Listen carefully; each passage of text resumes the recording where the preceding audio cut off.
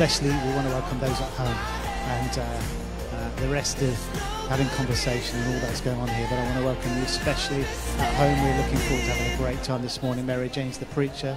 Got students taking part. We're saying goodbye to Bill and Rose who are moving away from Folkestone. So it's going to be a fantastic morning in this family of God together, and we welcome you to join us. And we're excited about what God's going to do amongst us. So we'll see you uh, in two minutes' time. every disaster when I run away. Love's running faster. Every mistake, every, mistake, every disaster, every disaster when I run away. I run away love's running faster. running faster. Every mistake, every, mistake, every disaster, disaster when I run away.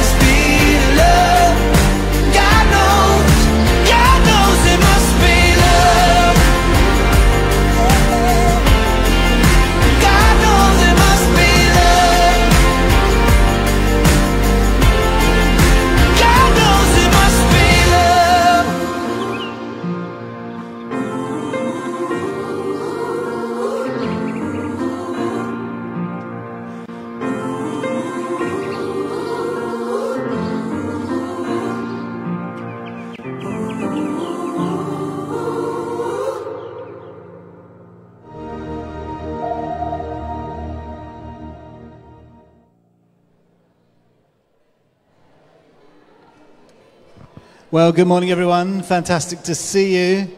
Welcome to Harbour Church. Still lots of people coming in. It's because we're starting on time for a change. What an amazing thing that is. Want to welcome you to Harbour Church this morning. I'm Gareth. I'll be leading the service this morning, and we've got a lot going on this morning, and uh, we're excited about what God's going to do amongst us. We're expecting Him to speak to us. I'm expecting Him. I hope you are. I hope your heart is open and uh, your spirit is ready to receive from God. I want to read to you from uh, Psalm 127 in the in the prayer meeting on Wednesday lunchtime. I uh, I shared this scripture, and as I was just thinking about this morning, I thought I'm going to share the same scripture. Most of you weren't there, so uh, here you go. It says, uh, "Unless the Lord." Builds a house, the work of the builders is wasted. Unless the Lord protects a city, guarding it with sentries will do no good. It's useful for you to work so hard from early morning until late at night, anxiously working for food to eat, for God gives rest to his loved ones. You know, uh, as I thought about that on Wednesday and again this morning, I'm just reminded that we are we can spend all of our lives working really hard, but unless it's a, a work built by God, it's wasted energy. And uh, that can be a bit depressing, except that the opposite is true. If we trust God, He builds and we rest. And so this morning, I just want to encourage you. Let's expect God to do something, building something here, building something in my heart. Let's expect supernatural stuff to happen together this morning because when we do, we rest and we let Him work. He builds, He does a fantastic job, much better than we can do. So, just want to encourage you this morning. All of this doesn't come about by our effort, but by His supernatural uh, building. And so let's, I'm going to pray and then I'm going to hand over to Ian and we're going to expect God to do something amongst us this morning. Father, we want to thank you. We want to thank you that we don't have to rely on our own strength. We don't have to rely on what we can do, but we trust you. We trust you to build something here this morning, build something in my heart, build something in our hearts. Let the church this morning just, just grow because you are doing something amongst us. So, Father, we pray, just come by your Holy Spirit and touch us this morning. I pray in the name of Jesus. Amen. Ian's going to lead us in our worship this morning as we sing. All right, shall we stand and sing?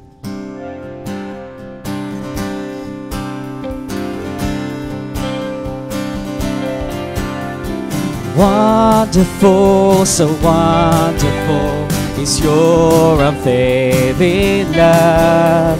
Your cross has spoken mercy over me. No eye has seen, no ear has heard, no heart could fully know how glorious, how beautiful you are.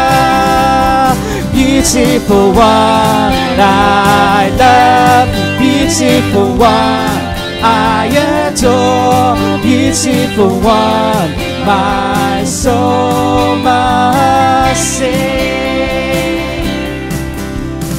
powerful, so powerful. Your glory fills the skies. Your mighty works displayed for all to see. The beauty of your majesty awakes my heart to sing. How marvelous, how wonderful you are.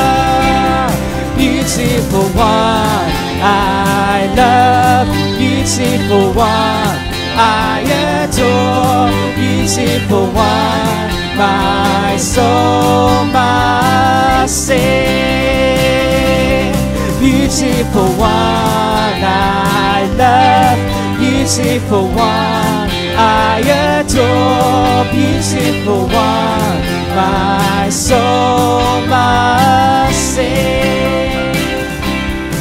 For you opened my eyes to your wonders in you.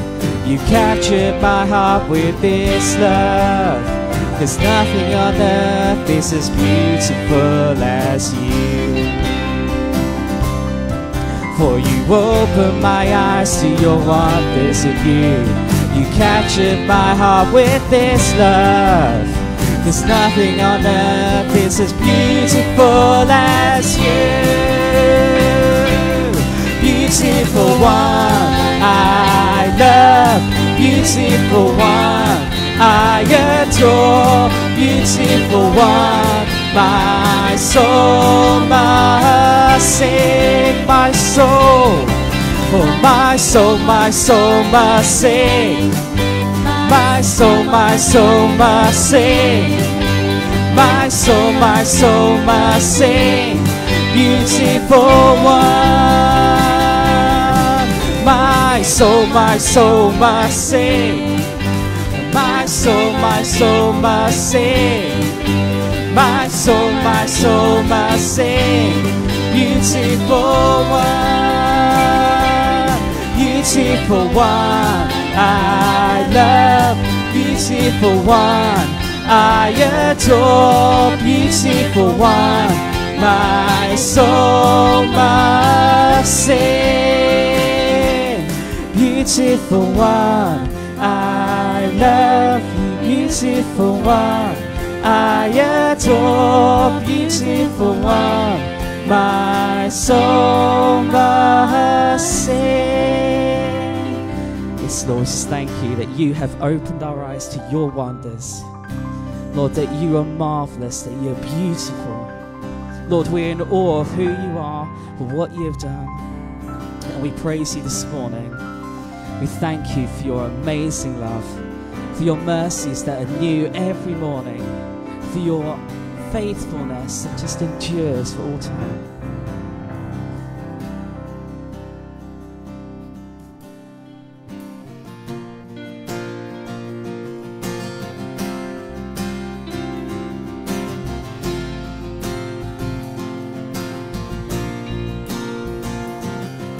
In brokenness and wandering through all my fears and unbeliefs, your faithfulness appears to me again. Through mountaintop and valley low, in every season this I know, your goodness like the dawn will break again. Oh, your mercy's rising in this heart again. My soul begins to sing. Cause they are new every morning. They're new every morning. Great is your faithfulness. Your mercies are new every morning. They're new every morning. Great is your faithfulness.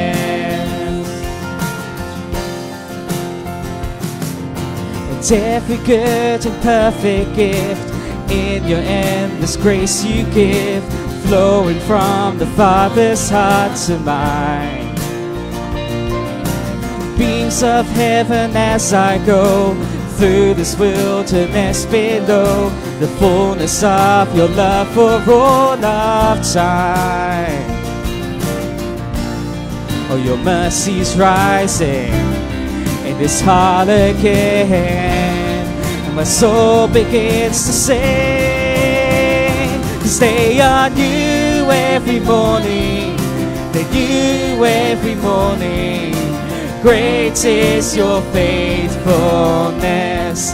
Your mercies are new every morning. They're new every morning. Great is your faithfulness. Your mercies are new every morning.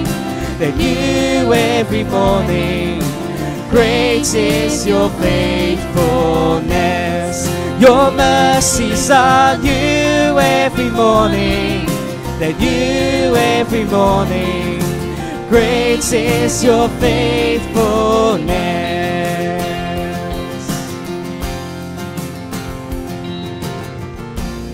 Oh, your mercy's rising in this heart again.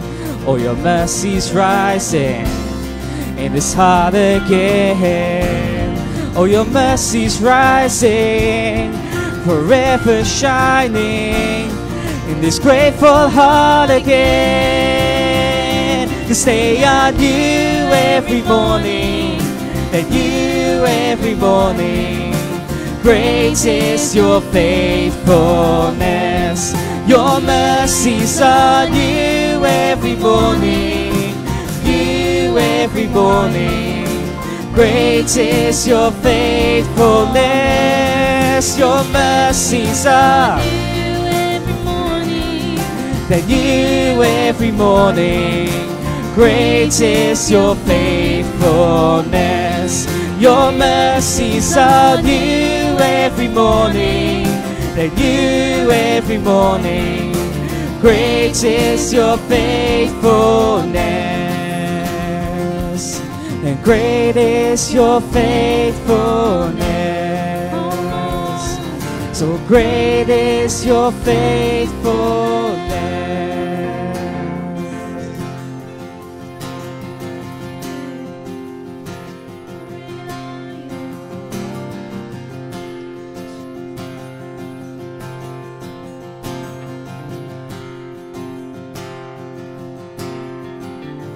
You give life, you are love.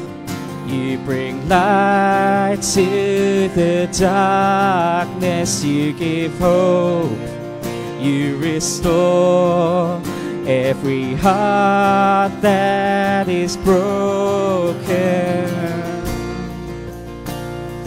Great are you, Lord. You give life. Yes, you give life. You are love. You bring light to the darkness. You give hope. You restore every heart that is broken. Great are you, Lord. So great you are. Great are you, Lord. it's your breath in our lungs. So we pour out our praise. We pour out our praise. It's your breath in our lungs. So we pour out our praise to you only,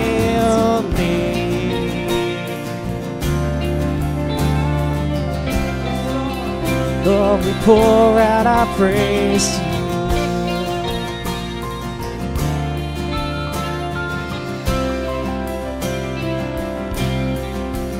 you. You give life, you are love.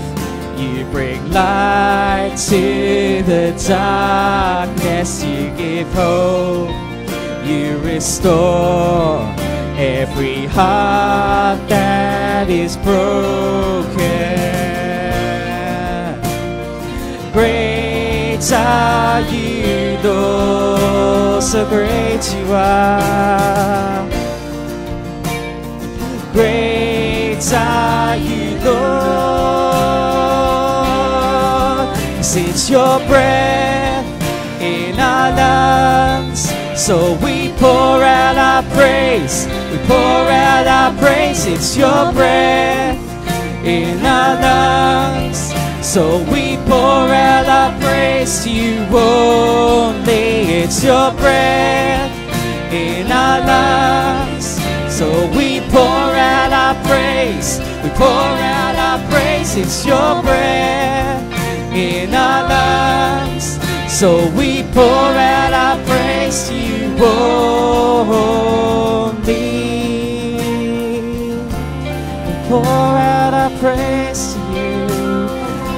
Are hope. You are life. You are love. Come on, let's lift our voices in praise now. While these guys play, Just give your praise to Him. Use your own words. Sing the words of the song. I don't mind, but just give Him your praise. Use, use the breath of our lungs to pour out our praise.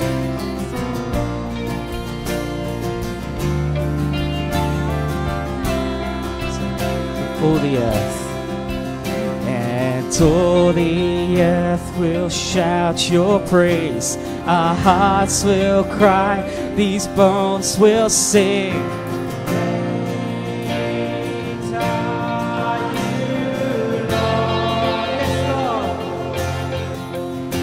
And all the earth will shout your praise. Our hearts will cry, these bones will sing.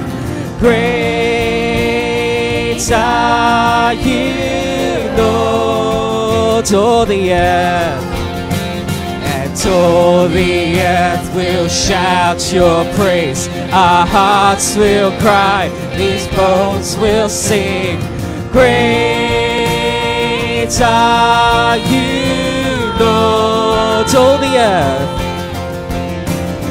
And all the earth will shout your praise. Our hearts will cry, these bones will sing. Great are you, Lord. It's your breath in our lungs. So we pour out our praise. We pour out our praise. It's your breath in our lungs. So we pour out our praise to you only. It's your breath in our lungs. So we pour out our praise. We pour out our praise. It's your breath in our lungs. So we pour out our praise to you only. Great are you, Lord. Great are you, Lord. Great you are. Great are you, Lord. You are high over all. Great are you, Lord. Love you. Great are you, Lord. Holy is the Lord.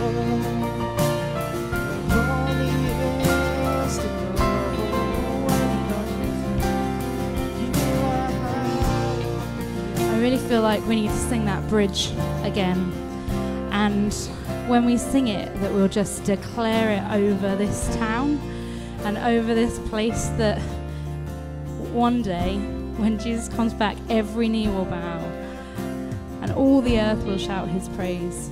I just pray that, yeah, over this place, that we would speak that over these people now so they can have what we have. They can find that joy that is found to be living on the earth with Jesus here. I just, yeah, as we sing this, just pray to God for those those people that you know who are so close to to accepting Jesus and seeing that life that we have, but they just need that that the Spirit of God to intervene. Like we can we can do so much, but it's God that changes hearts. So I just pray, yeah, as we sing this, just pray it over the people that you know that your heart is crying out for.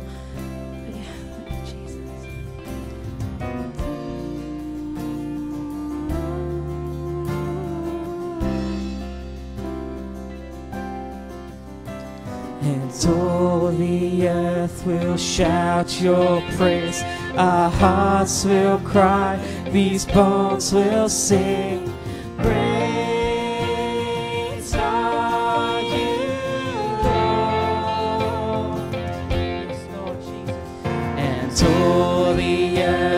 Shout your praise. Our hearts will cry, these bones will sing.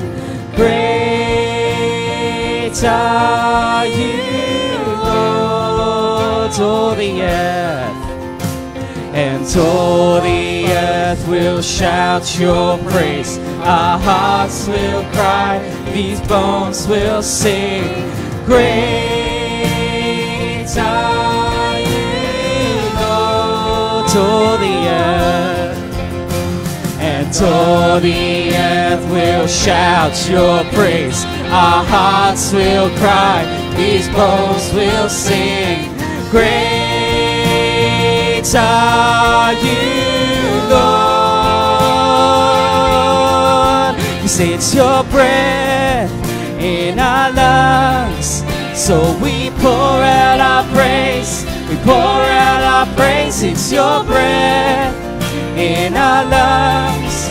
So we pour out you only. It's your breath in our lungs.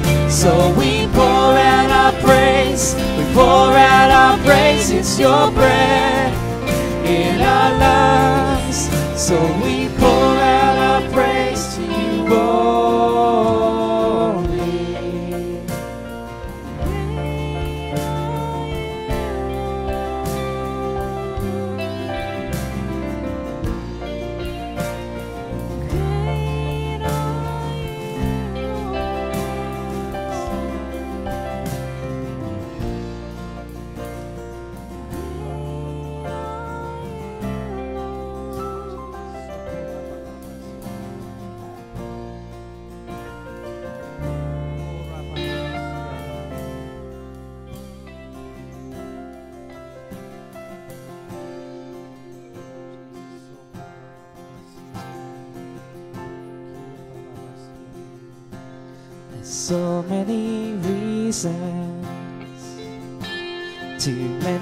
to count, to say that I love you, to worship you now.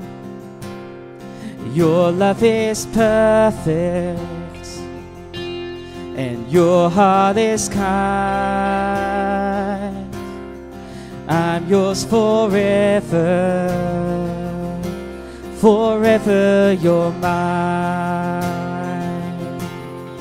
Jesus, the anthem of my heart, Jesus, the anchor of my soul. I'm overwhelmed by all you are. Oh, how I love you. You call me beloved. You call me Your grace I'm worthy. You welcome me in.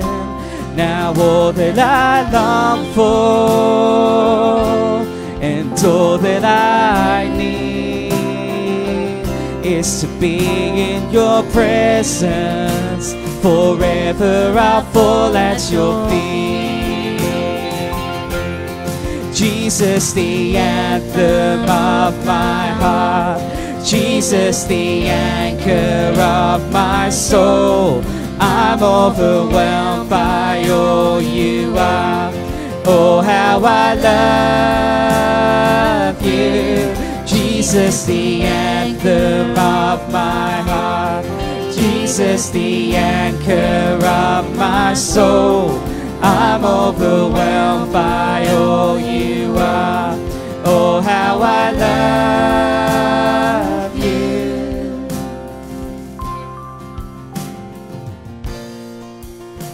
You're faithful to the end. God, you are always good. Where do I begin? There's so many reasons to love you. Your promise never breaks. Your beauty never fades. What else can I say? There's so many reasons to love you. You're faithful to the end. God, you are always good. Where do I begin? There's so many reasons to love you. Your promise never breaks. Your beauty never fades. What else can I say? Jesus, the anthem of my heart. Jesus, the anchor of my soul. I'm overwhelmed by all you are. Oh, how I love you. Jesus, the anthem of my heart. Jesus, the anchor of my soul. I'm overwhelmed by all you are. Oh, how I love you. And oh, how I love you.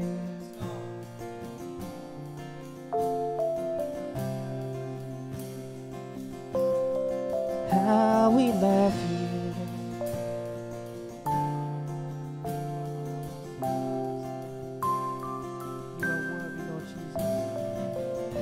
Baba sokora baba siana na basiana. Kia baba sokorobo sokora basiana na. Kia baba sokorobo basiana. Kia baba sokorobo sokora basiana. For those who've not heard that before, that it's a message in tongues. The Bible tells us to wait, and God will give us an interpretation. So, uh, if you've got that, don't hesitate.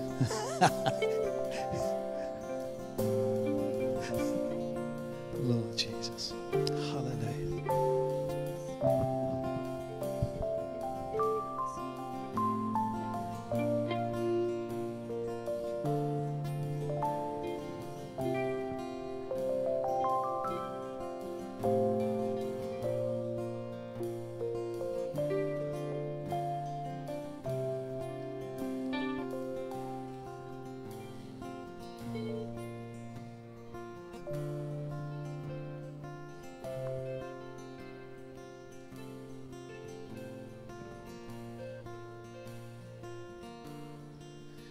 I could vaguely hear Jill from the back then. Do you want to come down the front and speak in the microphone, Jill?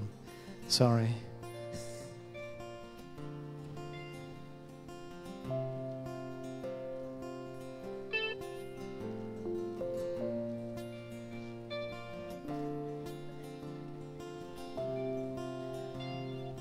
The Lord says that some of you might feel broken, that you feel hurt, but He knows you, He knows your heart, and He loves you with an everlasting love, and nothing can break that. And He just wants you to look to Him, and He will release you. He will just break all them chains that are hurting or breaking you.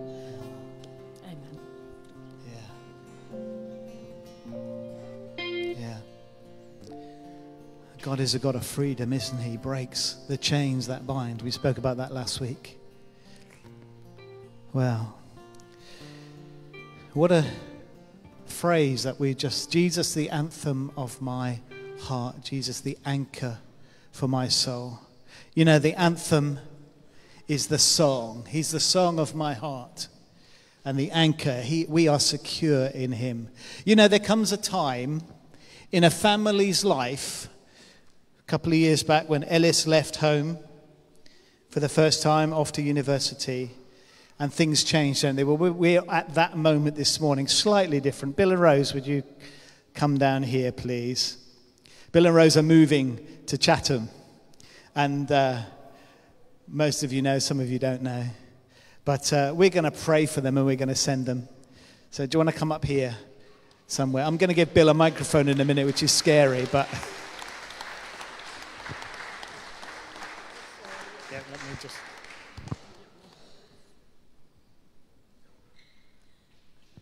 Bill will say I keep talking, but I would just like to say just a little thank you to everybody for the family that we have made here. I'm now going to my family, and the Lord gave the opportunity to us. Please, I keep saying to everybody, don't lose faith. I've been crying with the songs that we're singing. Please never lose faith. We put our name down to move last January, and the Lord's given us the most beautiful flat we could ever want to finish our lives with. Coming up 1993, and but for our church, I am so sorry we're going to be leaving our church. But please, everybody, never ever lose faith. I know it can be difficult at times, it really can. And I've said to the Lord many times, What on earth are you doing, Lord? Please help us. And He has. So, for everybody, I know a lot of people have lose, lost partners. I feel very with Barbara, which is our good friend, and when you lose a partner, but this is what the Lord does. He does take and He gives, and He does give so, so much, and He's given so, so much to me and Bill. And thank you very much for all that you've done in our church. We will be back, oh, Arnold Schwarzenegger. We will be back. We've got a nice little room where we are, so we will be back. They Thank keep you. promising that. So Definitely. Yeah, it's funny, really, because I like to say, you are my family, you are our family, and you always will be. But 11 years ago, to this day and this date, Rose and I were baptised in the Mediterranean in Spain. Very mysterious how it happens on the same day. I'm so pleased and proud. Thank you. Yeah. Keep it because I'm going to get you to speak again in a minute.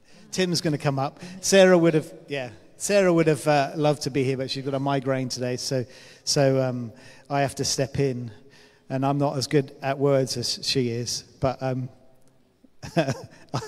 I've, I've just we're going to pray for you guys, and Tim will probably lead us, I'm sure, and, and I'll pray as well. But we just want to pray, you know, that you go from here uh, to, you know, obviously moving to Chatham, that you settle into the church there really well. We'll see you again. We know we will. But, but we just want to pray that you'll settle in, but also that where you are, you will be the witness that you've been here and you'll speak of Jesus if you've spoken Jesus here.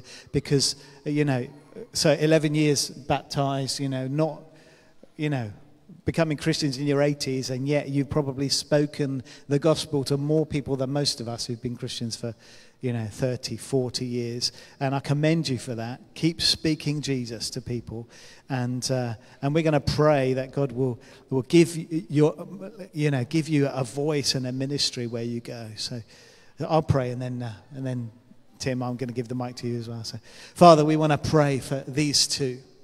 Father, as they move from here, that it won't be uh, uh, uh, uh, a further retirement, but it will be a, a new ministry. And where they are, that they will get to speak of you, to speak the good news, to declare your praise amongst the community that they become part of, to preach the gospel to those that don't yet know you. Father, we send them.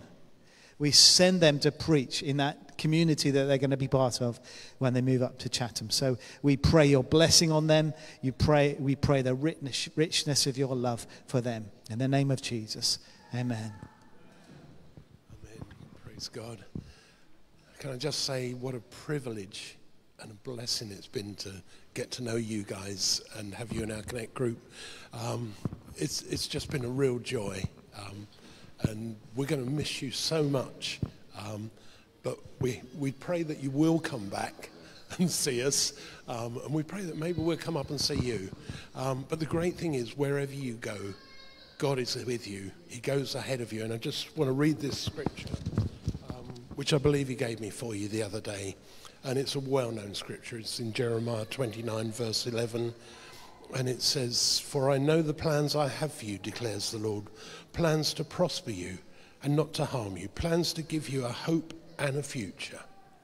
And that's God's promise to you, I believe. He wants to give you a hope and a future, and you can just keep looking to Him and trusting Him as you have for these last 11 years. And let's just pray for you. Father, we just thank you for Bill and Rose, Lord, for their witness for you, Lord. But Father, we just, we just release them into your hands, Lord, into your purpose for them, Lord. And we thank you that you haven't finished with them, that you're just beginning Lord, a new chapter in their lives. Father, would you take them and use them for your glory, Lord? Fill them with your joy and your peace and your love, Lord. And Father, I know it's always difficult when we leave somewhere we love. But Father, will you make this new place a home for them as well? Just the same as you have here. Lord, would you just use them mightily and let people come around them and love them and encourage them and support them, Lord. Father, put them in the right church up there, Lord. And Father, let it be a great church. Lord, just bless them in every way. Keep them well, healthy, and strong. And let their voices be heard wherever they go. We just commit them to you, Lord, in Jesus' name. Amen. Great, don't go anywhere. In a moment, Damaris is going to come and share some stuff with us. But, you know, um, we break bread together. We probably need somebody to grab your stuff and bring up here for breaking bread. Um, when, when we break bread together, of course, that comes out of partly out of the Passover. And part of the tradition of Jews today with Passover is to get the oldest person in the church to, or in the family to tell the youngest person in the family what God has done. So Bill said, I want to be part of breaking bread on Sunday morning. So we're going to do that in a moment. But first, Damaris is going to come and just share with us uh, some thoughts she's got on, on, uh, on breaking bread, communion. And then Bill is going to lead us through that, which is quite a scary thing, Bill, with a microphone. But anyway, so Damaris, if you come up and just share with us uh, what you've got. And, uh, and then she's going to pray for us. But she doesn't want to pray in English because she's nervous, so she's going to pray in Italian. So uh, there we go. Anyway, Damaris, over to you.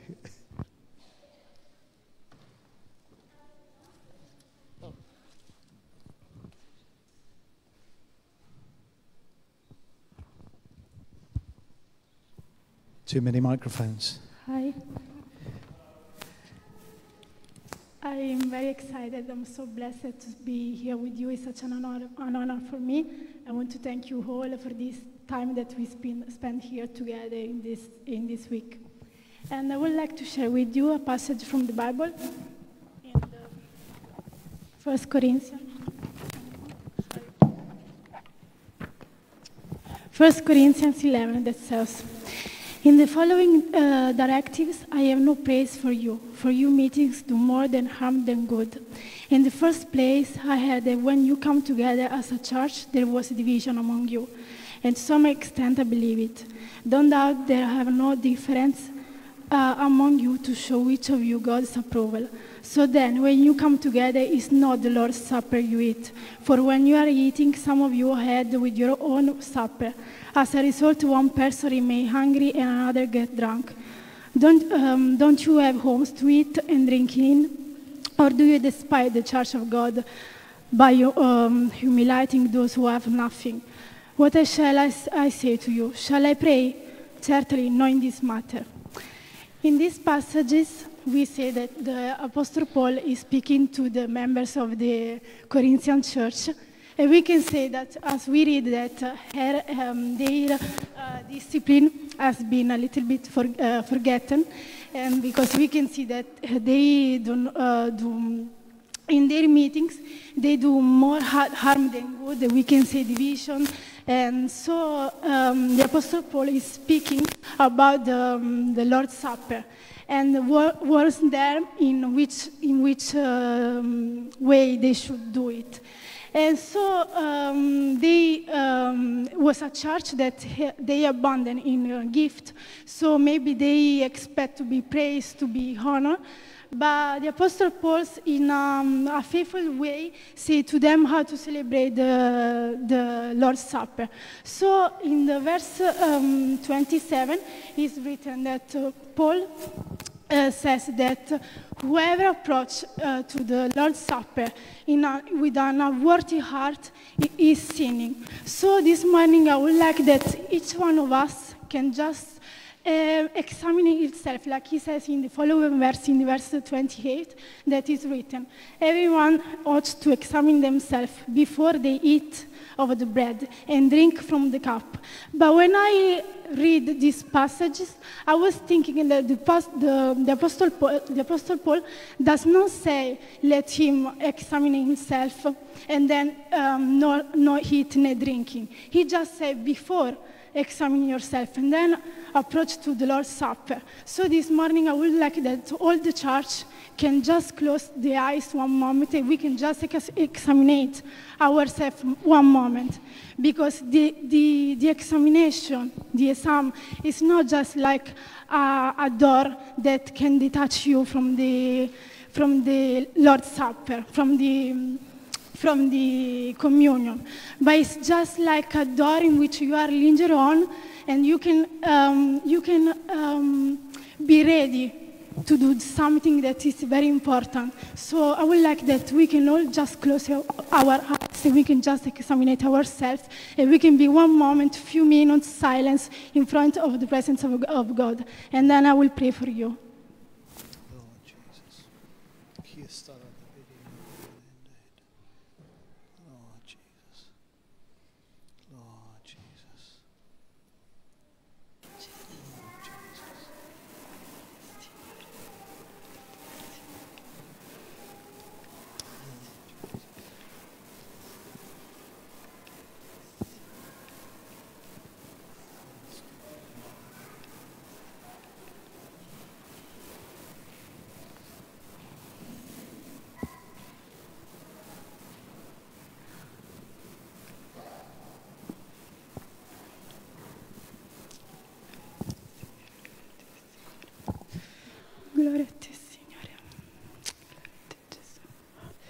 Eu quero, Padre, ti voglio ringraziare, Signore, con tutto il mio cuore, Signore, per questa opportunità che tu ci dai, Signore, di essere qui, Signore, anche se in questo momento, Signore, magari sto pregando nella mia lingua, Signore, ma veramente la preghiera, Signore, arriva a te, Signore, e io ti voglio ringraziare, Signore, perché tu ci dai l'opportunità, Signore, tu ci rendi degni, anche quando non lo siamo, Signore, di accostarci alla tua presenza, Signore. Grazie, Signore, perché tu non- noi non siamo degni, Signore, ma per il tuo sangue, Signore, per il tuo amore, Signore, per quel favore immeritato, Signore, che tu hai fatto per noi, Signore, noi siamo degni, Signore, e io ti voglio pregare, Signore, che ognuno di noi, Signore, in questo momento, Signore, non possa prendere alla leggera, Signore, quello che stiamo facendo, Signore, quello che tu ci hai insegnato, Signore, ma veramente che ogni cuore, Signore, possa essere preparato, Signore, che ogni cuore, Signore, che ogni persona qui in questa stanza, Signore, possa esaminare se stesso, Signore, ed essere pronto, Signore, chiedere perdono, Signore, e veramente, Signore, a dire, Signore, sono qui, Signore, sono, sono rotto, Signore, non sono degno, Signore,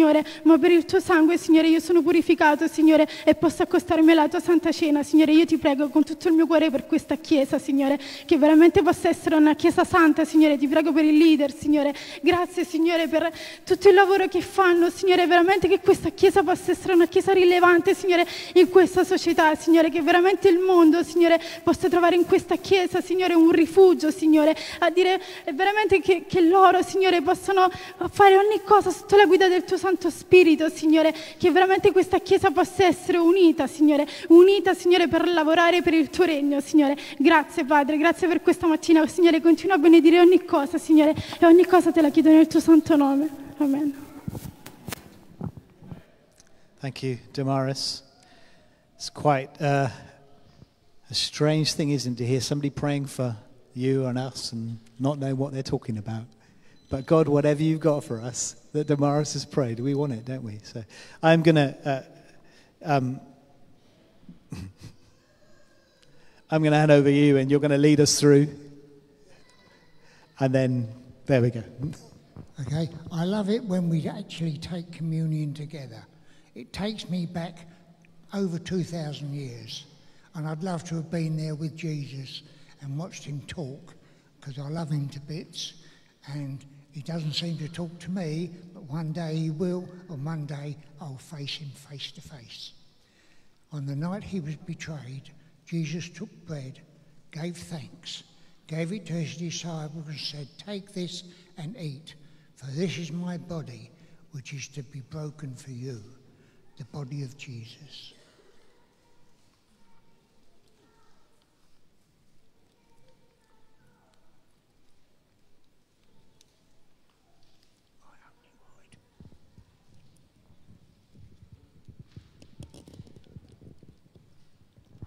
After supper, Jesus took the cup, gave thanks, gave it to his disciples, said, Take this and drink, for this is my blood of the new covenant, which is to be shed for you. For I tell you now, I shall not eat of this bread or drink from this vine until I am once more in my Father's house. The blood of Jesus.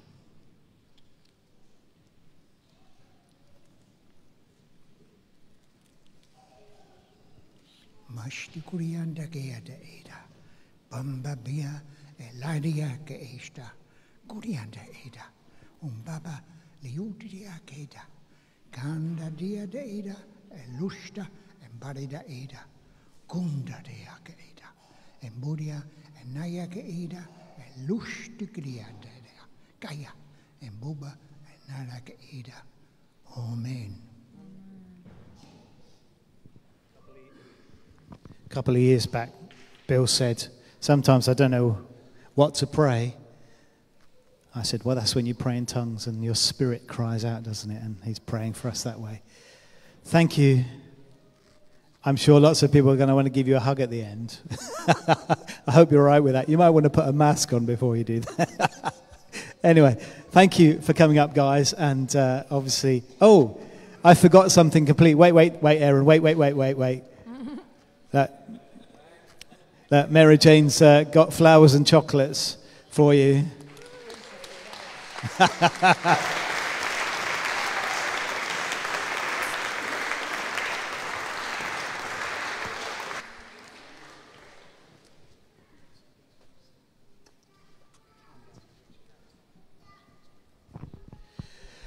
Well, as I said, it's a moment for this family. But when they get to Chatham, these guys will be get added to another family, and uh, I'm sure they'll be loved and, uh, and cherished as much as they are here. I don't know who that's going to make the oldest person in the church now. Um, um, yeah, at least I look younger than you, Aaron. So. Aaron's younger than me. You wouldn't believe it, would you? it might be my dad. I don't know. Sorry? Celia. Okay. Is Celia here? I don't know. Anyway. Well, it's fantastic to be able to, to do this. I'm going to let the kids go to Sunday school now. While we do that, I just got a few things. Tonight, Churches Together service is here. Um, pray for Sarah because she has stepped in at the last minute as preacher and now she's got a migraine. So um, it might be me or Mary Jane, who knows?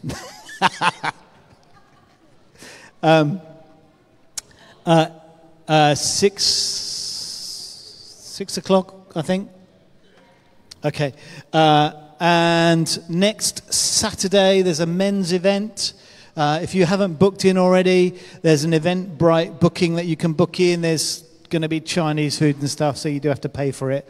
But anyway, um, that's next Saturday. The week after that, and this is a bit of confusion in my brain because I thought it was the same day, but it's not the same day. On the 20th, there's a, uh, a prayer breakfast here. I didn't write the time down. 8:30 uh, Saturday morning um, on the 20th uh, coming up, uh, which will be great. We're looking forward to that. Um, Josh, can you come and talk to us about Christmas stuff? Do you want to use that one? Great. Um, is it? Oh, I'll take it off. Um, good. Well, one of the uh, one of the things that Harbour Church does best is outside events. Yes, if you've been part of the church for a while, you'll know that. If you've joined the church recently, you might not know that because the last time we did one was actually two years ago this week, believe it or not, uh, which was our big firework event. And of course, as well as that, we usually have our annual summer fun day, but you know, because of the world we've been in, we haven't been able to do any of those. So, with that in mind, let me take you forward a few weeks to six days before Christmas, six sleeps to Christmas, all right? Sunday, the 19th of December, and we are going to put on an open air carol event here the church building. And um, we would love you to get involved in this. It's going to be from 5 o'clock till about 6.30. The first half an hour of it, we're going to have loads of activities outside, like, you know, things that people are used to from us that you would find at one of our fun days or one of our firework events. So some free food, free drink, yeah, hot chocolate, donuts, mulled wine, mince pies, bit of entertainment going on outside, a bit of singing as people come in, and then gathering together for about half five to sing some amazing Christmas carols, declaring the message of hope that we know about at Christmas to the community, and a nativity as well with the children. And we're just believing it's going to be a brilliant opportunity to share the hope that is contained in the Christmas message. Sound like a good idea? Good. Do you want to be involved in it? Well, for the first time in two years, Anna's going to be hunting you down with her list of sign up volunteers. Okay, so far it is empty, right? Your name is needed. There are loads of things you can get involved with. We'll talk a little bit more about it over the coming weeks. But if you want to see Anna and get in early with a job that you might want, make sure you get in first, otherwise, someone else will get that job. There's also loads of things to do beforehand as well. So you don't have to do something on the day. You can do something beforehand to help. Uh, for example, we're hoping to give away presents to children, so we want to wrap them up and stuff like that. So if you like wrapping presents, not only are you weird, but also there's an opportunity for you to wrap presents before that event. Uh, so yeah, brilliant day. So 19th of December, Sunday, five o'clock till 6.30 whatever you're doing cancel it make sure you come to that and a great opportunity for the first time in over two years to do an outside event as harbour church sounding good brilliant gareth thanks So we need to pray for good weather on the 19th of December. Um, obviously, we're giving you lots of uh, um, uh, notice on that because we want you to volunteer and we want you to be part of that. We have another Christmas event much sooner than that. The 5th of December, Danny Oates will be here again. You'll remember he was here last year when we were like able to have a few people in the building and we did several different repeated events. Well, this year he's going to be with us on December the 5th, which is a Sunday. He's going to be here with his band uh, doing worship on Sunday morning. And then the evening, we're going to like have a carol concert similar to last year. So there are two events that we want you to be inviting people to. Obviously, we don't really need so many volunteers for the 5th of December, but we do want you to bring people, and it's going to be a fantastic event. Danny is a fantastic musician, as you know. This time, he's going to have musicians with him that play all the time with him, and it's going to just be fantastic. And I'm really looking forward to that. So just keep those two dates in your diary and uh, be inviting your friends. Flyers will be ready very soon for that. I'm looking to see Katie. Oh, Katie is here. She, it's on her list of jobs. They're printing. I know. Great. Uh, Mary Jane is our preacher. Let's pray for her as she comes. Uh, excuse me, as she comes and shares with us. Father, we pray for Mary Jane. Father, we pray you'd quicken the anointing that is on her this morning. Father, we pray that you would speak to us through her, that you'd bring revelation to our heart, that you'd grow us in our spirit because of what Mary Jane's going to share with us this morning. Father, we pray for clarity of mind and thought and that she communicate really well. Father, we pray in the name of Jesus. Amen. Amen. Good morning, everyone.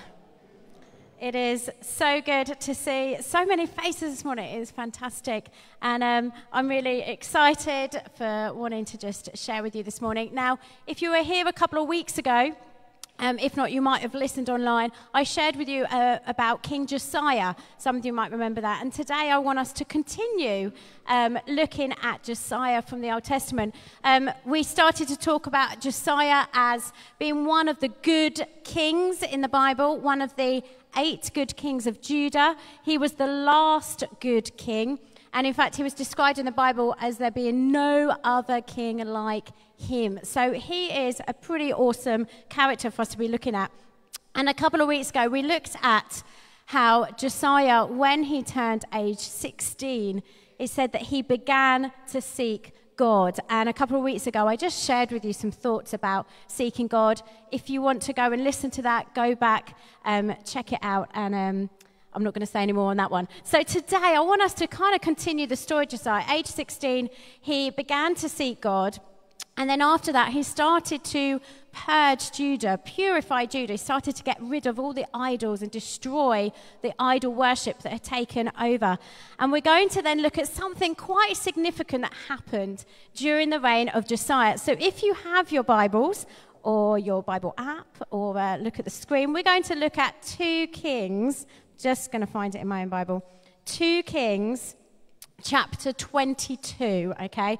And I am going to read quite a lot. I think a couple of weeks ago I read about two verses um, of Josiah from his actual story, but today we're going to really read through.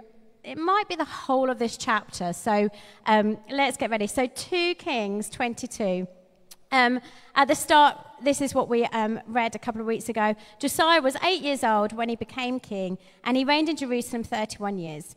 His mother was Je- Jedediah, I can't, I haven't practiced these names, do apologize.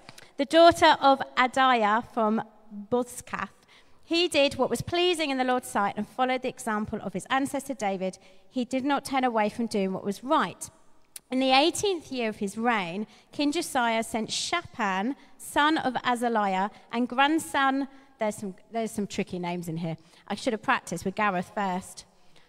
Meshullam, thank you very much, uh, Sean, the court secretary to the temple of the Lord. He told him, Go to Hilkiah the high priest and have him count the money the gatekeepers have collected from the people at the Lord's temple.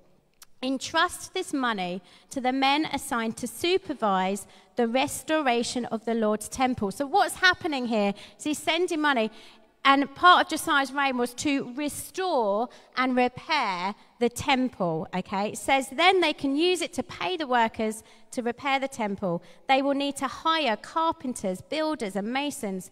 Also, have them buy the timber and the finished stone needed to repair the temple but don't require the construction supervisors to keep account of the money they receive, for they are honest and trustworthy men. So here we get pretty awesome thing. Josiah's going, actually, we need to sort out and restore God's house, and he makes it a priority to restore his temple.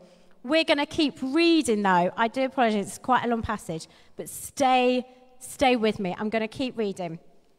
Because this is what happens next. This is the bit about today. Verse 8 it says, Hilkiah the high priest, said to Shaphan, the court secretary, I have found the book of the law in the Lord's temple. Then Hilkiah gave the scroll to Shaphan, and he read it. Shaphan went to the king and reported, Your officials have turned over the money collected at the temple of the Lord to the workers and supervisors at the temple. Shaphan also told the king, Hilkiah the priest has given me a scroll. So Shaphan read it to the king. When the king heard what was written in the book of the law, he tore his clothes in despair. Then he gave these orders to Hilkiah the priest, Ahikam, son of Shaphan, Acbor, son of Micaiah, Shaphan, the court secretary, and Asaiah, the king's personal advisor. Go to the temple and speak to the Lord for me and for the people and for all Judah. Inquire about the words written in this scroll that has been found. For the Lord's great anger is burning against us because our ancestors have not obeyed the words in this scroll. We have not been doing everything it says we must do. So Hilkiah the priest, Ahikam, Acbor, Shaphan, and Asaiah went to the new court of Jerusalem to consult with the prophet Huldah. She was the wife of Shallum, son of Tikvah, son of Harhas, the keeper of the temple wardrobe. She said to them, The Lord, the God of Israel, has spoken. Go back and tell the man who sent you, This is what the Lord says I am going to bring disaster on this city and its people. All the words written in the scroll that the king of Judah has read will come true.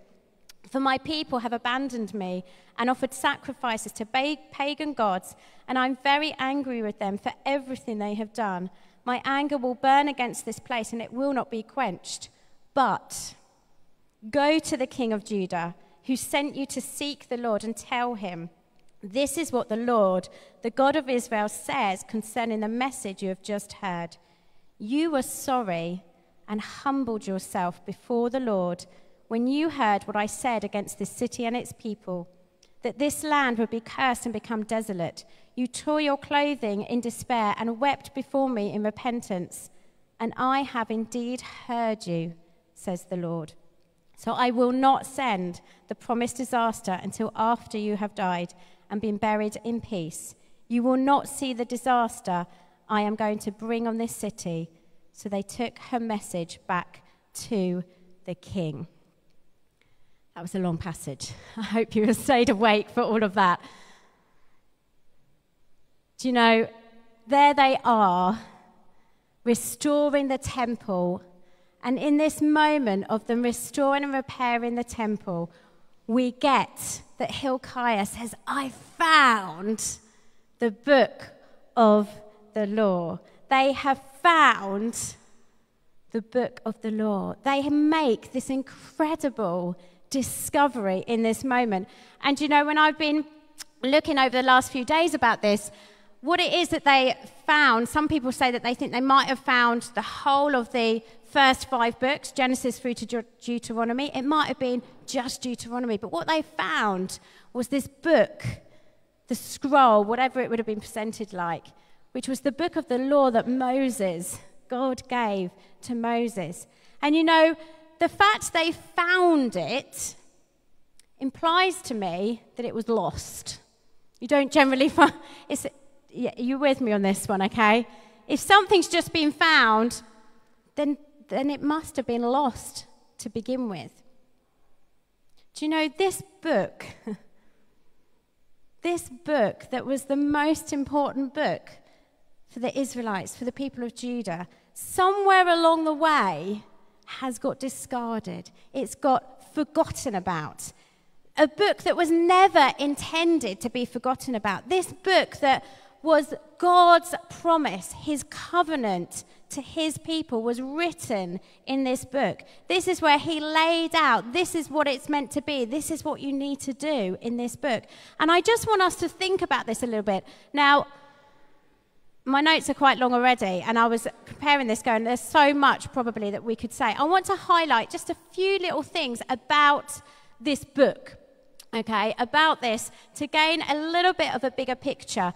And to do that, I'm going to just share a few verses in Deuteronomy. So, this is the book, this is the covenant God gave to Moses for his people. And in Deuteronomy, chapter 31, it says this 24 to 26. It says, When Moses had finished writing this entire body of instruction in a book, he gave this command to the Levites who carried the ark of the Lord's covenant Take this book of instruction and place it beside the ark of the covenant of the Lord your God, so it may remain there as a witness against the people of Israel. So, this book was meant to remain by the Ark of the Covenant. Okay, let's find out something else about this book.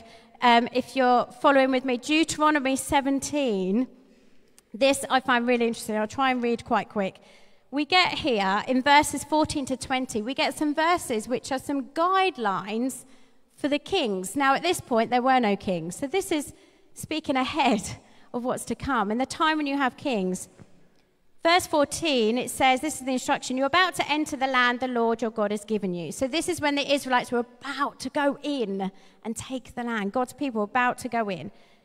When you take it over and settle there, you may think we should select a king to rule over us like the other nations around us. And then it goes on to say, If this happens, be sure to select as king the man the Lord your God chooses. Okay, and then it has a few other things. I'm going to jump down to verse 18. This is what it says about the kings. So when the kings come along, this is the instruction. When he sits on the throne as king, he must copy for himself this body of instruction on a scroll in the presence of the Levitical priests. He must always keep that copy with him and read it daily as long as he lives. That way, he will learn to fear the Lord his God by obeying all the terms of these instructions and decrees. This regular reading will prevent him from becoming proud and acting as if he is above his fellow citizens. It will also prevent him from turning away from these commands in the smallest way, and it will ensure that he and his descendants will reign for many generations in Israel. So the instruction was that a king had to have a copy that had to be on him, that he had to be reading every day. I wonder how many kings actually did that. I don't think there were many. Even already, as we've been reading about Josiah, the fact that they found this book implies that Josiah clearly didn't have a copy by his side. I reckon some of the good kings before would have had it. It talks about the kings that followed the law. It talks about David. David himself was the best king at this, wasn't he? And he followed the law. He even said to Solomon, as he passed on to Solomon, he said, Make sure, make sure you follow everything that the law says. Make sure you're following this book, this scroll. Joash was another good king, and it speaks about Joash that he was presented with a copy of the law. There were so many bad kings that it says of them that they did not, they refused to follow the law. So, just starting to get an idea here of this is what the book of the law was meant to be like for these kings. And I, I almost, as I was thinking about this, even this morning, I think it's almost a bit of a yo yo effect here that I reckon there would have been a good king, followed the law, had the law. The bad kings come along, where does the law go? It disappears. One other little thing, one final thing Deuteronomy 31. We're going to go back to Deuteronomy 31. I just want to read this one other thing about this book that it says in here. So, Deuteronomy 31, I've lost my verses, where are we? Verse 9. This is what it says. It says, So Moses wrote this entire body of instruction in a book, gave it to the priests who carried the ark of the Lord's covenant and to the elders of Israel. Then Moses gave this command At the end of every seventh year, the year of release, during the festival of shelters, you must read this book of instruction to all the people of Israel when they assemble before the Lord your God at the place he chooses. And it says, Call them all together men, women, children, foreigners in your town, so they may hear this book of instruction and learn to fear the Lord your God. So we get here, the book of the law was meant to be read before everybody every seven years. I'm not sure that that happened every seven years. Now, in my little bit of research, having a look over the last week, managed to find that there are only a few places where this is actually recorded in Judah's history and in their history. So let me just find them here. Joshua, when he went into the land, Joshua was a time when they gathered all the people together and they read before the people the book of the law. And then the next recording that we get is actually 500 years later. 500 years later, during the reign of Jehoshaphat, that is the time when we read of this happening, of them assembling everyone together and reading the book of the law before them. And then it's over another 250 years till we get to this point where we are in 2 Kings, when Josiah the beginning of chapter 23, we didn't read this, it says that after all of this has happened that we read about Josiah, it says that he then summoned everyone together and read the book of the law to them. So when we look in here, something that had been commanded as every seven years you're to read before the company people, we read in here maybe three times that that happens. Now, I have no idea. I haven't had enough time to look into this. Is there once more? Oh, that's after. Yeah, I'm, we're up to Josiah. But yes, after. So after, after Jesus, eh, Judah is exiled to Babylon and they return to Jerusalem, then that's when they read it again. So up to this point to Josiah, though, we don't read of it happening every seven years. The fact it's recorded just those few times shows that this was a rarity. This was not happening. And I just wanted to share this morning those few little things about the book of the law that this book was meant to remain by the Ark of the Covenant. Every king was meant to have a copy of this given to them that they read daily. This book was meant to be read before everybody I love that. Men, women, children, everybody, even the foreigners that were in the land, everyone, every seven years. But so much of that had gone. So much of that was not happening anymore. Somewhere along the way, they lost this book of the law and they weren't doing what they're meant to be doing with it. Somewhere along the way, in the years of worship, idol, misguidance, they had lost God's word. You know, Judah had drifted so far from God's word. And now, in this moment with Josiah, we get this incredible moment. And I love reading just Hilkiah. In my Bible, I know it's probably an editing thing, it's got an exclamation mark when it goes, I found the book of the law. I almost sense the excitement of this priest going, Wow, I found this. The excitement. And you know, today, my question is have you forgotten about this? Have you forgotten about the Word of God that we have right here today? Do you know, a couple of weeks ago when I was talking about Josiah, I talked about this call for us to seek God. This is a way that we can seek God by reading His Word.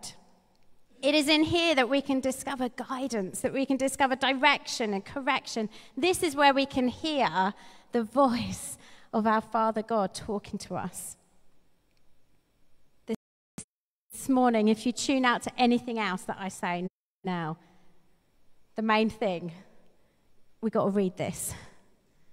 We've got to read this. This is my message today. Do you know what? I almost want to say if you weren't here two weeks ago, go back and read it. Because I talked a couple of weeks ago about how, do you know what? It was quite a simple message. And this morning almost is the same. It's quite a simple message. We've got to read this. But I want you to hear this heart and this message. This is so important. And yet I wonder how many of us almost take it for granted. We take it for granted. We've probably got, some of us, how many have got like more than one copy of this in our house? I'm a bit like that. Got loads of copies on my bookshelf, loads of different versions. Do you know, I wonder if sometimes we've chosen to cast this aside, that we've forgotten about it. You know, I talked about how Judah almost, over their years in the land, they had drifted away from God my word this morning is be careful of the drift. Drifting is something that happens unintentionally. If you're ever someone that likes to play in the, swim in the sea or something, you know, the number of times I go down with the kids, they'll be playing in the sea here. And then after a few minutes, they've kind of just drifted along the beach. And they're like, they're over here. And you go, no, come back over here. Come back over here. Few more minutes. They've drifted along. They're oblivious, aren't they? They don't realize. Drift, that's what drifting is. We don't realize it's happening. And I wonder how many of us, without realizing, have drifted away from this, drifted away from God's word. Do you know, I want us to have a little look in a little bit more detail of Josiah's responses. When Josiah hears the book of the law being read to him, I want us to take a few minutes just look at his response. What happens when he hears it? The first thing is this he tears his clothes. It says that Josiah tore his clothes. Now, at that time, people did that to express their emotion, the astonishment, the sorrow, the grief. Here was a king that was so concerned, not just about himself, but for his people. Because later on he says to Hilkiah and all the other people, can't remember all their names, Hilkiah and the gang, he said to them, Go and seek and inquire for me and the people of Judah. He tears his clothes when he hears of the devastation that's going to come, when he realizes what his ancestors had forgotten about. He tears his clothes. That shows me that he was a man who was broken for his nation. He was broken for the nation of Judah. You may have heard that phrase break my heart, Lord, for what breaks yours. How many of us have heard that phrase before? I think quite a few of us. Do you know, is your heart broken for our nation? when we read this, do we find ourselves like Josiah tearing our clothes, going, God?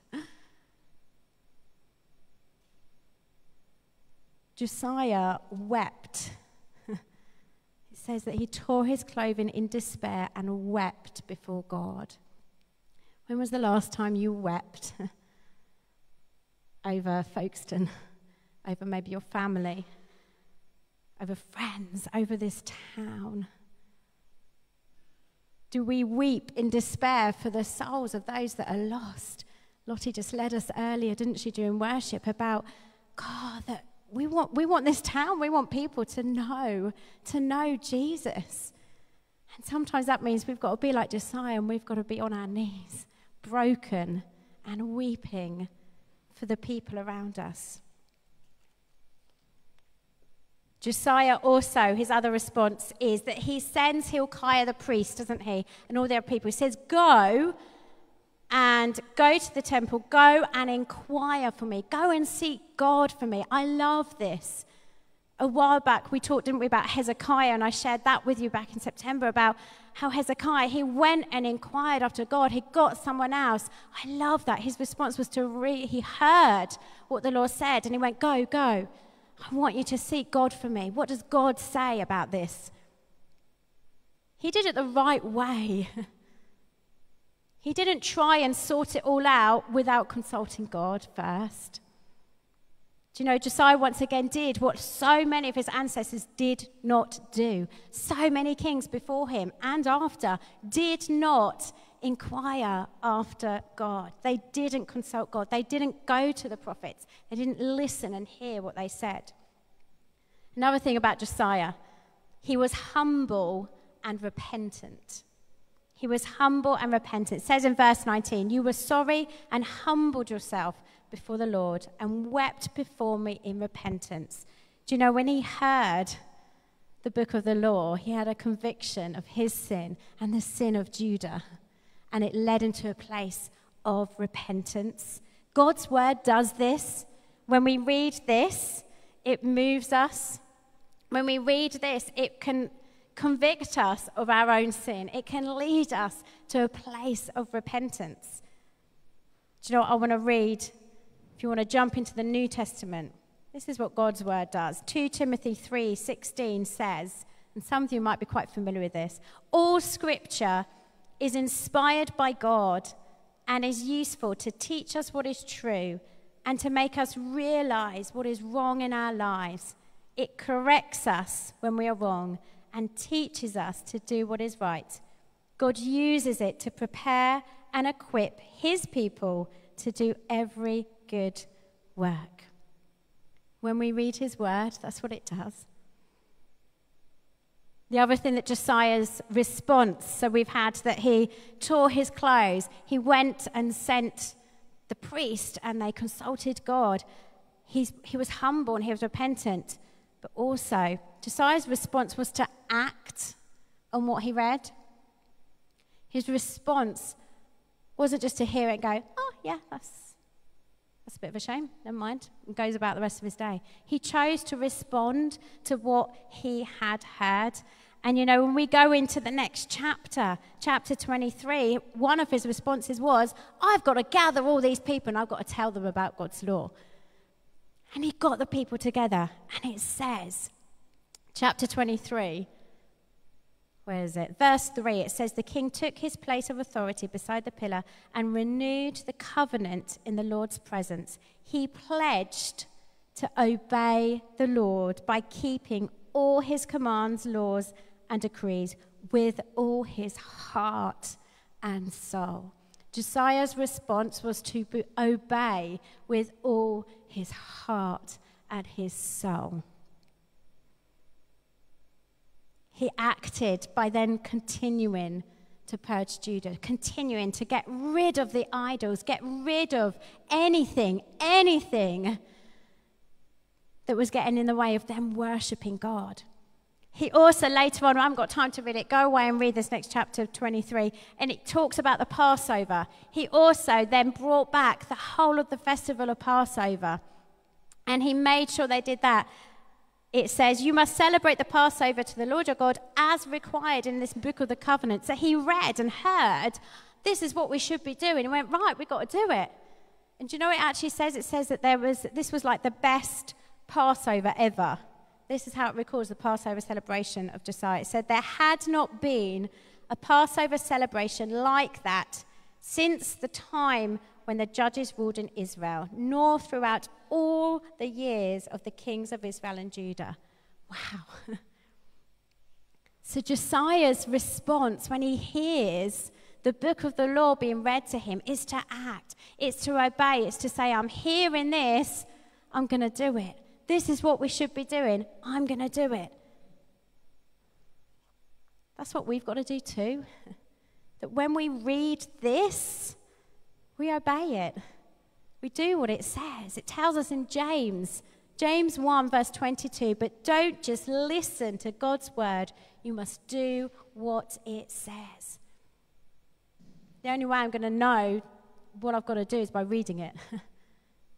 I've got to read it, I've got to read it, I've got to read it. And I go, okay, that's what I need to do. Some other question this morning. How do you respond to God's word? How do you respond when you read this? What are your responses like? Josiah, he, he tore his clothes, he wept, cried out to God, he consulted God, he acted, he obeyed what it said. Do you know, this is the best book. Oh, look, mine's a bit falling apart. Look, I've super glued it so many times and the cover keeps coming apart. This is the best book that you could ever read. Is anyone with me on this one this morning? Yeah, this is the best book, okay, that you could ever, ever read. If you don't like reading, get an audio version and listen to it and listen to it. This is the best book. This book, do you know what it says in Hebrews? For the word of God is alive and powerful. God, do we believe that this morning? The word of God is alive and powerful. It says in Hebrews, it is sharper than the sharpest two edged sword, cutting between soul and spirit, between joint and marrow. It exposes our innermost thoughts and desires. This book is worth reading. And this morning, my call to all of us and myself, I'm not standing here saying I've got this sus. This is so often when I stand here, it's God speaks to me over this, and I'm working this out. But I just feel like I've written here, it's time to up our game with this book. Okay? I know I need to up my game. Anyone else with me here? We need to up our game with reading this, okay? Thank you, Sean. Yes. We do. We need to up our game. Do you know what? If we want to see breakthrough in people's lives, if we want to see breakthrough in our own lives, we've got to be reading this. We've got to be reading this, hearing this. We've got to read this and allow it to change us because that's what this does. Allow it to change us, allow it to impact our prayer life. Gareth last week called us to go and come on, church, almost let's up our game with prayer. But this morning I'm saying let's up our game with this because it goes together. Prayer and God's word goes together. We read this, it will inspire our prayer, it will inform our prayer. It's going to change the way that we pray. This is going to change the way that we, we live, the way that we act. This is crucial, absolutely crucial to our lives. Now, hear me right this morning, okay? Because I really want to get this. I'm not, I'm intentionally not saying, right, if you want to read your Bible, this is how you're going to do it. I want you to go away and you're going to get a little devotion or you need to get a tick thing. Do you know, I'm not talking today about a religious sense of reading our Bible. And I reckon lots of us here have been there. I've been there, where sometimes we just read it just to give a nod to it. Yep, I've done it. You know, this week, don't go, right, I'm going to read my Bible. MJ tells me to. Brilliant, I've done it. There you go, MJ. No. Don't do this just to go, oh, I've done my reading plan for the day. Big tick, pat on the back. Okay, I don't know, maybe it's just me, but I, you know, we've, I've had moments when I'm like, oh, look how many ticks are on my little list. You know. I'm just reading it for the sake of just reading it so that I feel better almost for myself. This is not what this is about today. Don't just read it to tick a box. This is about reading this to seek God. This is about more than that. This is about allowing God to speak to us through His Word. It's about choosing. Do you know, this word has been going around so much at the minute in, in my own heart. This word intentional. So much about Josiah is that he was a king that was intentional. He intentionally chose to seek God, he intentionally chose to respond to what he heard. He could have chosen to hear that book of the law and, and just sat there going, oh, that's all right, but I can't be bothered today. I'm not going to do anything. He chose. He chose to respond. He chose to act. He chose to gather the people and say, Come on, this is what we should be doing. Let's be intentional with reading this. Let's be intentional in taking that time, whenever that is, whenever that works for you. What works for one person doesn't work for someone else. Whatever works, but let's be intentional in, in just allowing this to shape us and to mold us. Do you know Josiah and the nation of Judah were transformed by the reading of the God's word, by the law? You know, when you're looking at some of the commentaries about it, some people might refer to this time of Josiah after they found the book of the law, a time of spiritual revival almost, is what happened. Wow, that's exciting. I want spiritual revival. Anyone else? Yeah. Because there are so many people that don't know Jesus. So many people living their lives not the way that God wants them to. So many people that are lost. Come on, if we read this, then maybe we'll see spiritual revival. But we've got to be reading this. We've got to be reading this. This is the power of God's life, of God's word. The power of God's word is that it can transform lives. The power of God's word is that it can transform lives. Do you believe that? I do. And I just, this morning, this is, I, I, hope you're just hearing my heart this morning that this is me just going, come on. And I'm saying it to myself. I'm going, come on, Mary Jane. I need to be reading this so much more because this, wow, this is, this is amazing. I don't want to be like Judah, where it just gets a bit discarded. I've drifted away and I've just forgotten about it. You know, don't go home today and just shove it back on the shelf and wait till next week and bring it again.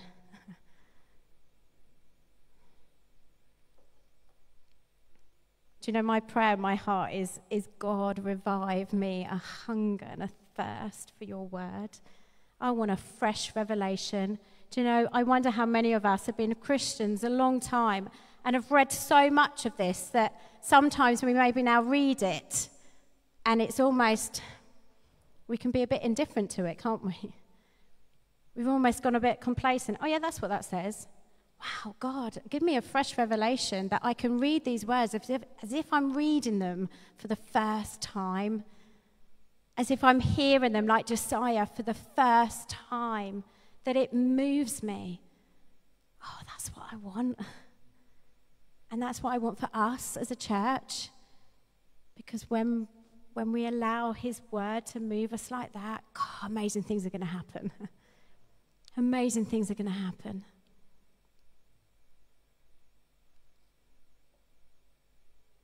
So this morning, God's word. What's your relationship like with this book? Have you forgotten about it? Have you discarded it? What's your response to reading his word? This morning, the call is let's up our game, church. Let's be a church that, oh, know this so well. I love in Psalm 119 when it says, Your word is hidden in my heart. God, let's be the kind of people where our, His word is hidden in our hearts so much that we're able to then use it for prayer, use it to speak into other people's lives, use it to be able to bring that transformation. Let's pray together. I'm going to finish. Let's just pray. Father God, I want to thank you for your word.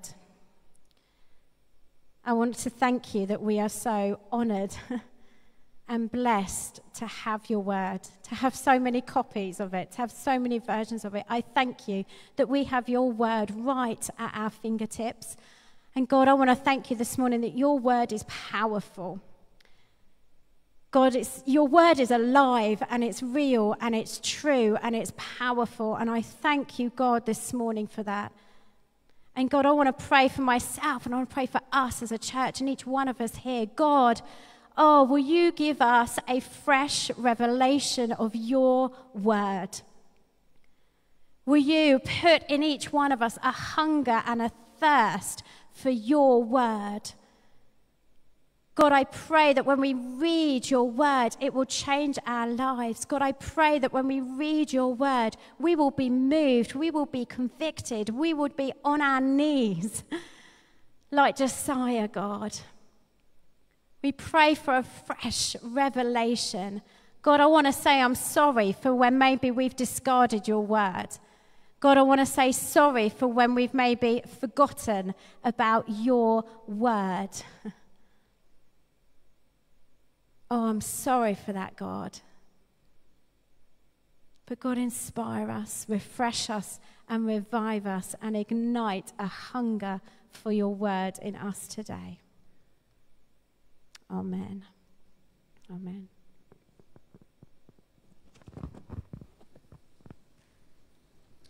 Thanks, Mary Jane. We just, uh, a couple of weeks back, we were just chatting through what she was going to be talking about in Josiah, and she preached on that first part, and she said, I'm not sure what to do next. I said, Oh, you've got to do the next bit. That's the good bit.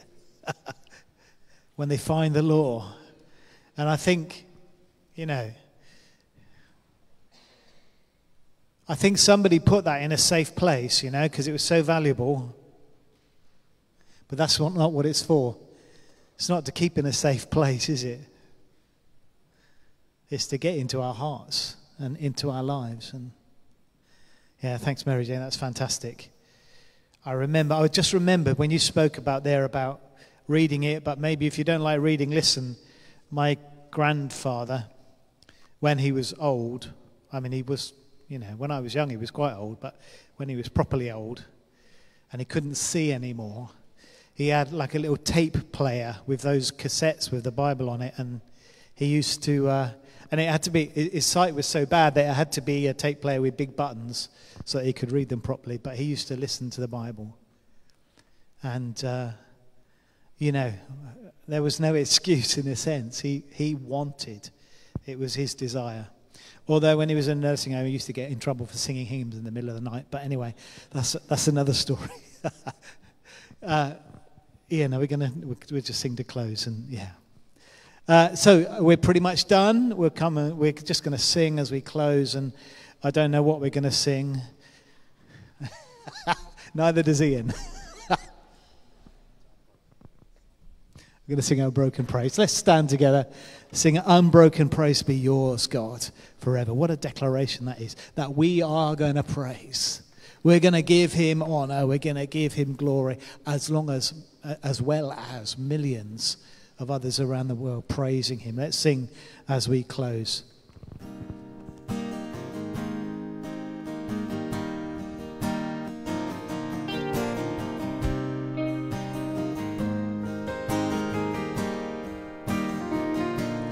Praise unbroken, praise unending. Be yours, be yours forevermore. Praise untainted, praise unfading. Be yours, be yours forevermore be yours, be yours forevermore. unbroken praise be yours, God, forever. All my praise be yours, God, forever.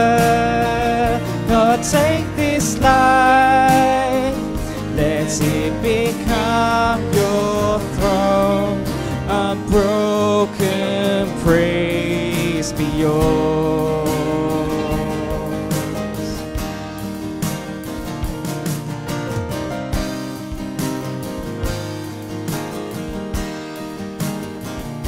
So my surrender, my devotion, be yours, be yours forevermore. And my surrender, my devotion, be yours, be yours forevermore be yours, be yours forevermore. Unbroken praise be yours, God, forever. Oh, my praise be yours, God, forever. Take this life, let it become your throne. Unbroken praise be yours. Unbroken praise be yours, God, forever. All my praise be yours, God, forever. Lord, take this life, let it become your throne. Unbroken praise be yours.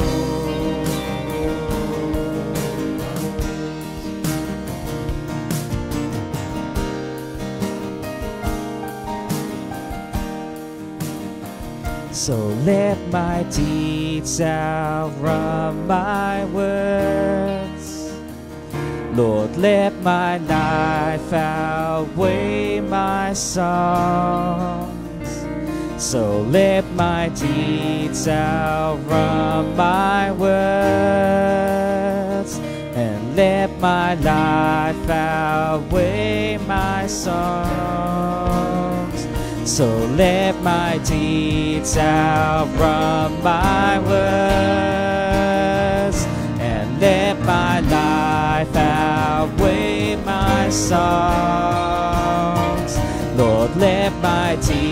Deeds outrun my words. And let my life outweigh my song. Unbroken praise be yours, God, forever. All my praise be yours, God, forever. Lord, take this life, let it become your throne. Unbroken praise be yours. Unbroken praise be yours. Unbroken praise be yours. What a prayer that is. Lord, take my life. Let it be your throne. Father, this week we surrender our week to you. Your kingdom come in our week. Your will be done in all that we do and say. Father, as we go from here, we pray that we would go in the power of the Holy Spirit, speaking truth and righteousness and love and justice where we go. Father, we pray that wherever we go, we would be ambassadors to your kingdom. Father, we pray you'd help us. In the name of Jesus. Amen. Amen.